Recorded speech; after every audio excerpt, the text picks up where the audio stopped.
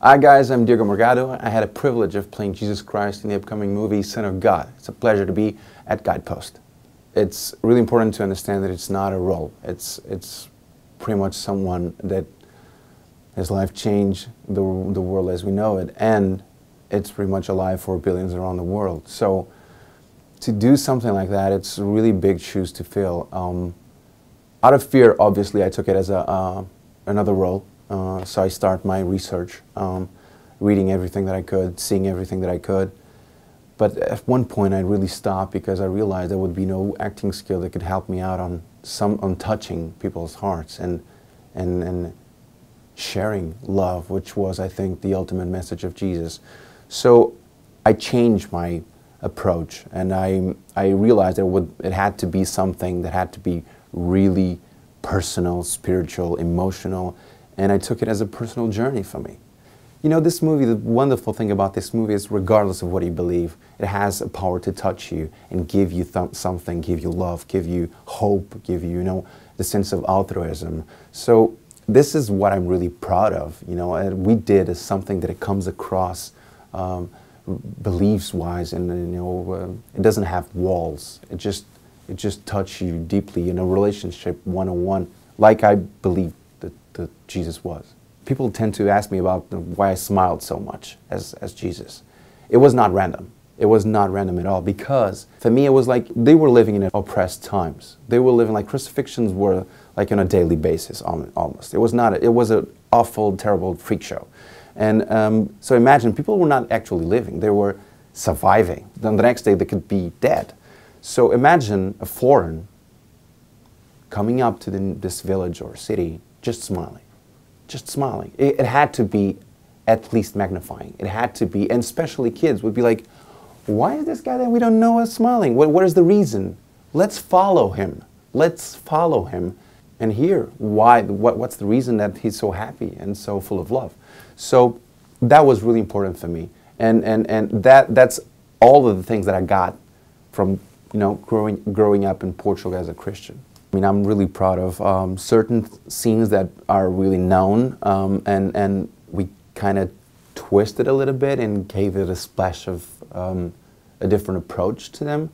I, I really love the the, um, the scene where Peter, where, where, Jesus says that Peter will deny him three times. You know, because there's this really known lines um, of Peter saying that to Jesus that he will not fall away. G Jesus actually believes it. He actually believes in Peter, what he was saying. So there's this wonderful human, profound, brotherly hug, you know, uh, and, and while they're hugging, it's almost like God's whispering to Jesus here, you know what, my son, I'm sorry, but he will deny you three times before dawn. And then, so when I say those lines, you know, as Jesus, I, it's like, it's not judging. It's, it's, you know, Peter, I, I understand you, but this is what's going to happen and I forgive you already. You know, so it's like this full of loving thing um, that I think Jesus was, you know, spreading all the time uh, while he was here. I got from my mom, I guess, the best compliment that um, I would ever, you know, heard. Because the thing is, uh, I was worried about her reaction, you know, seeing his son on screen, um, getting this uh, really sacrificing scenes and physical demand, demanding scenes. So I was worried about her, and um, I was not in town uh, at the moment. So I, but I called her uh, as soon as I knew that she she saw the the movie.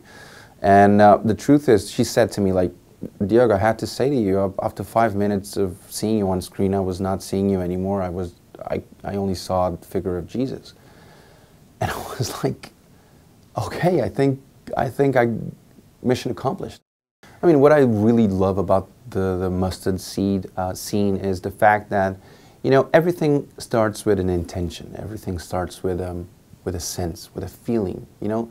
So especially for, like I said, I, I'm getting a lot of message and uh, uh, letters and, and a lot of messages from atheists, you know, from um, people that doesn't have like a specific belief in anything.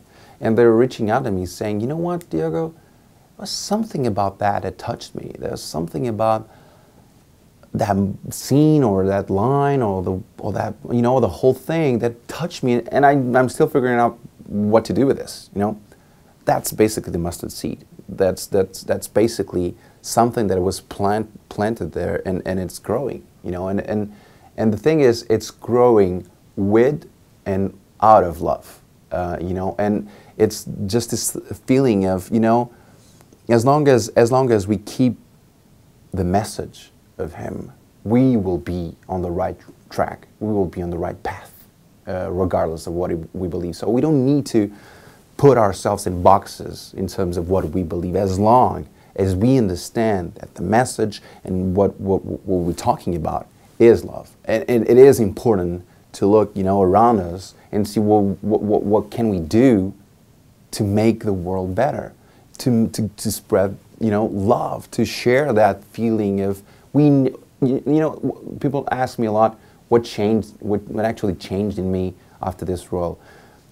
I used to think, you know, I had, I truly believed that it would be needing, we would need like a group of people to actually make a change, you know, like an organization, a charity, something like, we would be needing more than one people, one person, in order to change things for the better or help out or anything. Actually, no. I, I, right now, this what I learned from this is like one person can make a difference every single day. You know, sometimes it's just a gesture, sometimes it's just a smile, sometimes it's just a kind word saying, you know what, I think I never said to you, I love you, man. Thank you for this and this and this, and thank you for being my friend, or thank you for being my colleague. Sometimes it's so little that can make such a huge impact on people's lives. And that was the message for me, you know, and that's what I truly believe. And I, that's why I'm really proud of this movie and kind of doing, doing that, you know, is regardless of what you believe, is bringing people's light, love, compassion. And I'm really proud, really, really proud of that.